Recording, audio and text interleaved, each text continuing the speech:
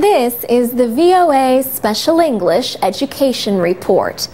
A study in Norway has found that students who stayed in school longer than others their age scored higher on intelligence tests. In the 1950s, the government began requiring students to attend school until the age of 16 instead of 14. Communities had almost 20 years to make the change. So some students went to school for seven years, while others went for at least nine years. This difference gave researchers the chance to see if the additional schooling had any effect on intellectual development. All young men in Norway must take a test of their cognitive ability at age 19 in preparation for required military service. This is commonly called an IQ or Intelligence Quotient Test. University of Oslo researcher Taryn Ann Galloway says the young men who were basically forced to stay in school for two years longer actually did have higher IQs. So, based on that, we were able to say that increasing compulsory schooling did actually have an effect on their cognitive abilities as measured at 19 years of age. An average IQ is 100. Most people score between 85 and 115.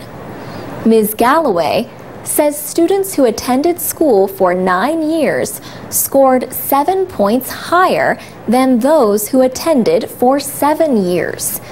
Those who went for eight years scored about four points higher. The findings appear in the Proceedings of the National Academy of Sciences. Experts have long debated the extent to which we are born with intelligence or develop it influenced by environment and education.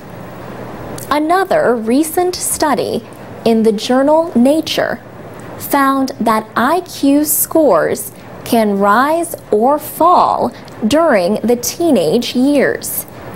In 2004, researchers from University College London tested 33 young people ages 12 to 16.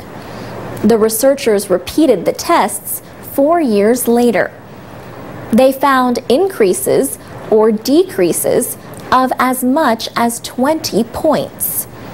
Brain scans showed that as IQ scores increased, so did the density of gray matter in some areas of the students' brains.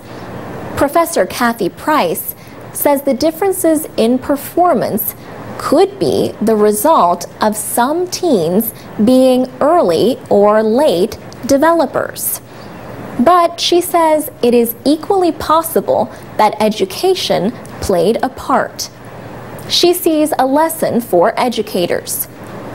We have to be careful not to write off poorer performers at an early stage when in fact their IQ may improve significantly given a few more years. For VOA Special English, I'm Alex Villarreal.